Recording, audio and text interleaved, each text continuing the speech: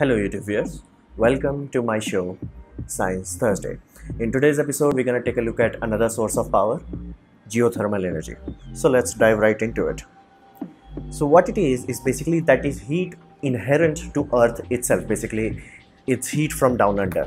So, where does that heat in the first place comes from. Energy cannot be created nor destroyed. So first source of energy that is is that many of you know that star creates what's called accretion disk. Like there is a disk around a star that you know combines and becomes uh, planets now that when that happens a lot of energy is conserved in form of heat. Like you know that's why all the planets generally end up with a you know orbit that is more or less high. You don't have an orbit that is going like this one another planet going like little bit up and down is possible but you more or less you will end up with a disk like system. So when that happens a lot of energy is being conserved and lot of impact damage that is happening because of gravity. Like you know many of you have heard of something known as late bombardment period that happens because like you know once earth become big enough every small rock rocks gets attracted towards it. So that's like dumping a lot of heat energy into it.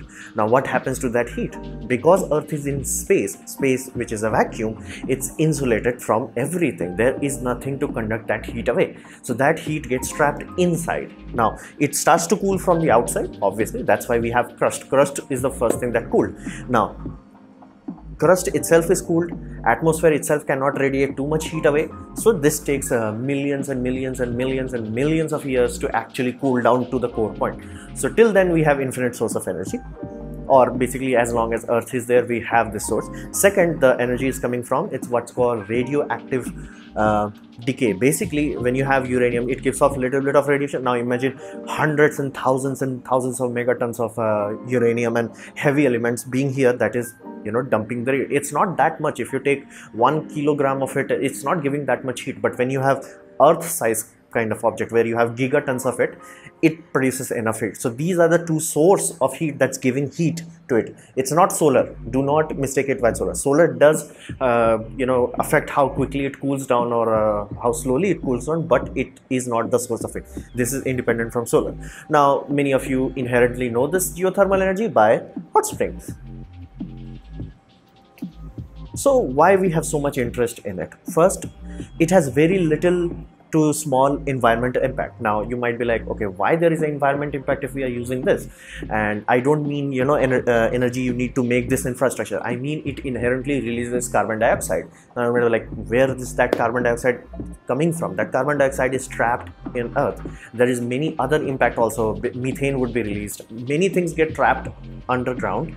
And if you drill down there there is a risk that you can release them. And over time you do release them. Like of course it's nowhere near. Like let's say for one megawatt you have to release uh, let's say one ton of co2 here it's invert of that it's like uh, for one ton, uh, megawatt you are barely releasing 10 kilo kilograms of CO2. So inherently, in comparison, on balance, it's a very, very small fraction. But it is there. It's not zero. It's not solar. It's not zero.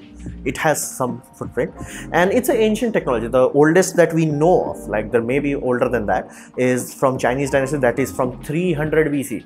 So suffice to say, from very old time we know that. And this has one unique ability that very few uh, green power can provide. It's what's called 24 into 7 power base load capacity. Basically it can give that much power and be done with it. It's like it's gonna give you 800 megawatt no matter what depending on your plant size so how does it work? Well, it's very crucial. As this stage of humanity, we are very location dependent. Basically, you have to have nature helping you out here.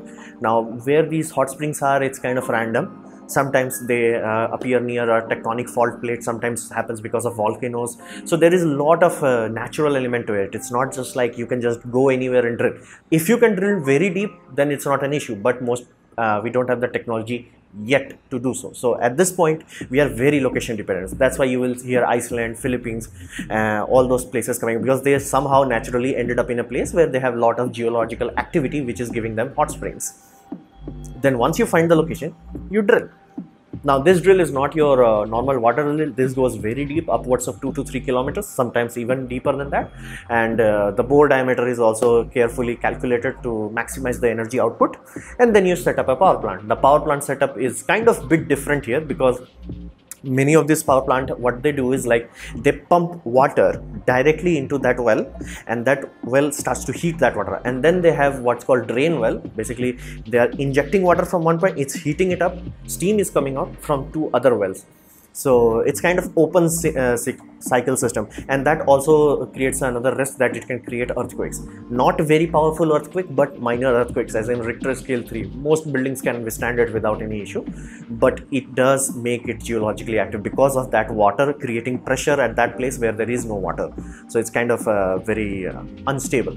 But if you have natural formation as in like uh, it already is a magma chamber there then you can uh, draw electricity out of it without causing major uh, ecological damage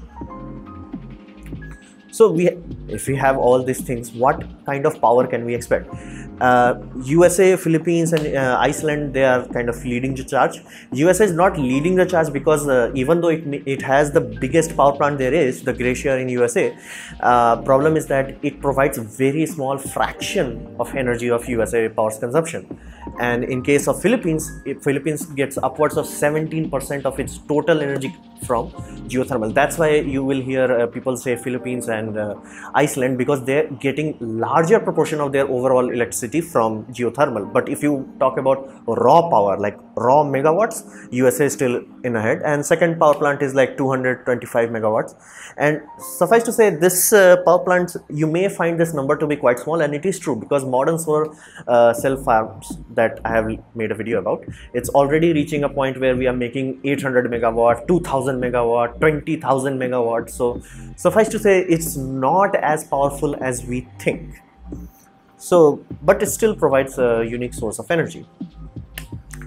Now, what we can expect in the future it's uh, very simple. We want to reduce emission by any and all means possible. So, older designs were not taking into consideration the emission that used to happen because of this. It was so little that they didn't care. Now they do care.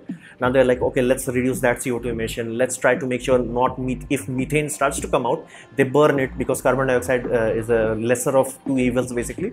So we will burn the methane, and there is arsenic, other things, mercury, things starts to come out. So we have to filter it out. We don't want to directly released into the atmosphere. So we are uh, making sure even the old power plants that have been working for 20 30 to 50 years they are getting uh, new smokestacks to clean those uh, things out. And we have to create in such a way iceland recently was making a very big plant and the problem they cancelled it because they started creating earthquakes. Now not big powerful earthquake you may not even notice it if you are in a car or things like that. But it did started to create an unbalanced scenario. That happens because we started using fracking the fracking technology that we use for oil extraction. And it has the ability to destabilize a localized area. It's not going to cause a cataclysmic level earthquake but it can destabilize local regions. So for that reason we have to do better studies in this.